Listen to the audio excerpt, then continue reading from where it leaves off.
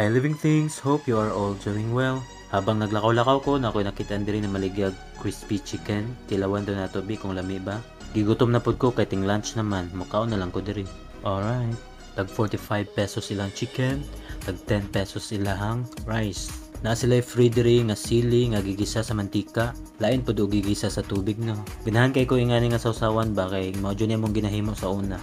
Ako na lang po gisagulag tuyo ning sili nga gigisa lami man pud ay. Alright. Ang akong ikasulti no kay lami ilang chicken. Why? Humok man gud ilang chicken, tapos crispy, tapos napod sila free nga pasabaw, tapos barato-barato pag. Okay kayo. Unya kay wa man ko nagpalit og soft drinks sa ilaha. Na ako'y nakita diri na maligya og kining nagtuyok-tuyok nga soft drinks o nga naay gibutang nga ice. Tilawan doon ako ni B kay murag lahi ra.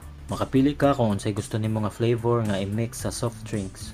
Nakalimot lang ko kung unsa to nga flavor akong gipili, ambot.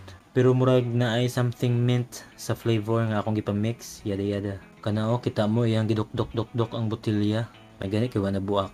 Tapos nahimo og ice ang coke. Sana oh. Sa sigig sayo-sayo sa mga soft drinks, murag battery sa truck ang gamit ini ba kay murag dugay-dugay pud ni malowbat. Pero na ko nakitaan nga wire sa kilid o murag di kuryente ni ba. Murag naman guro ko'y plano nga sundugon ni kay murag sige man kog hiring-hiring.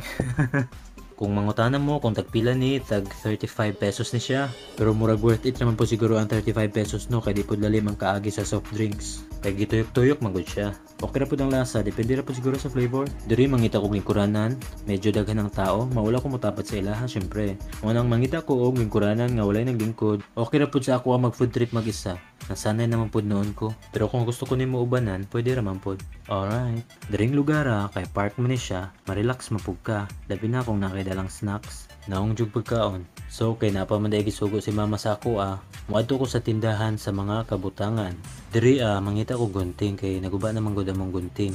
Sa mua man banyo, gamit jud kayo ang gunting. Kaya mua man ginapalit nga shampoo kanang mga nakasashay nga mga promo para tipid. Unya kaya akong mama maglisod na siya gabi sa shampoo. Munang kailangan na gyud may gunting sa banyo. Kining duha na lang ka gunting akong gipalit kay ihatag na lang pud nako ni sa ako ang pagumangko ng isa kay basig magamit ra pud ni niya sa iyahang eskwelahan.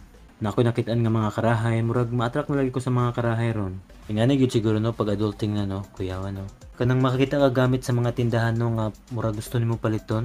Halimbawa, karong bulan na mo palit ka karahay. Tapos sunod bulan mo palit kag ref. Tapos sunod na pud bulan mo palit kag TV. Tapos sunod na pud nga mga kwarta ka palit na pud kag blender. Tapos next palit kag washing machine. Tapos niabot ang panahon wala ka kabantay na adik na di ka palit-palit og mga gamit. Yada yada.